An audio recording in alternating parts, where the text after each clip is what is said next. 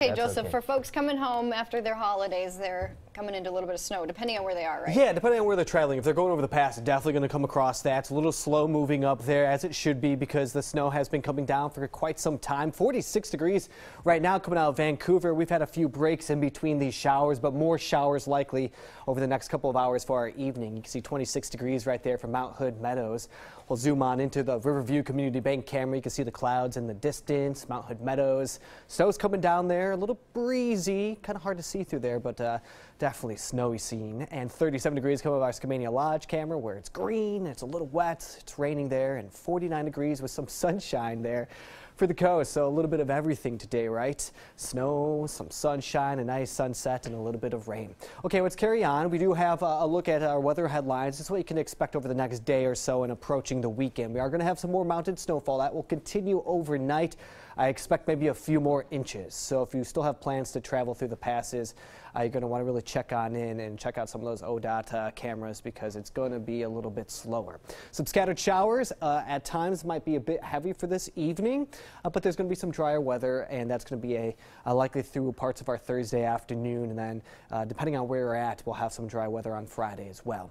Okay, you can see the snowfall off to the east. You can see the snowfall here in the northern uh, Cascades in Oregon and then those scattered showers there and maybe even some snowfall there for some locations in the Coast Range. Not down to the roads, but definitely some of the higher elevations there.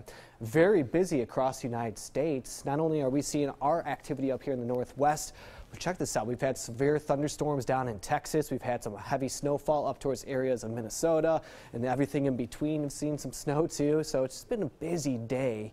I'll take you to Highway uh, 20 there at Santiam Pass. As you can see, it's a little snowed over there, and this is one of the passes that could collect a couple more inches tonight. Uh, and that goes for the Willamette Pass as well. This has been kind of quiet, you can see the temperature there, not even close to freezing. It's at 27, 28 degrees there. And so anything that falls down is going to be coming down as snowfall. Ski report, we've had three inches at Timberline, Meadows two inches, Ski Bowl one, and Bachelor two, more on the way. Temperatures right now in the mid 40s for just about everyone. So yeah, maybe a heavier jacket if you're about to step out. 46 for PDX and 41 degrees coming out of Happy Valley.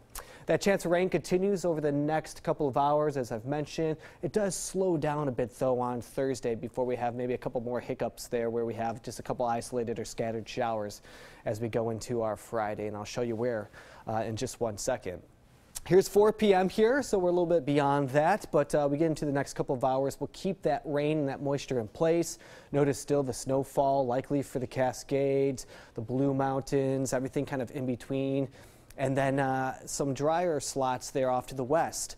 I think on Thursday it's going to be pretty dry, especially after the morning hours. It's not going to be much to really start triggering up any showers, but we'll keep a small chance in there for tomorrow as well, and likely some sun breaks too. It'll probably cool down uh, pretty quick for Central Oregon tomorrow.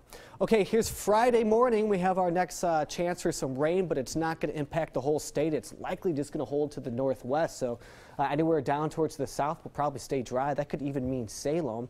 And then again on Saturday, as we just kind of clip the bottom edge of this system here, and that could bring in a chance for some rain again uh, Saturday night, which that should probably reach everybody.